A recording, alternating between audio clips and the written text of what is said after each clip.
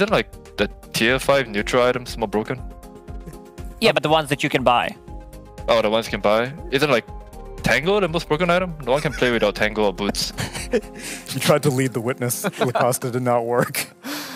Yeah. Uh, I. s- Uh, this was this was a a result basically after two weeks of your team being together. How have you enjoyed like the improvement and the the learning to grow as a as a new squad with these four guys, and and Me? Ian I guess as well, five guys. It's nice. Everyone's pretty chill. Like, uh, didn't expect uh, the environment to be like this. Joining Secret, I thought it'd be like Puppey with a machete, uh, like standing around. Are you, are you Uh, disappointed?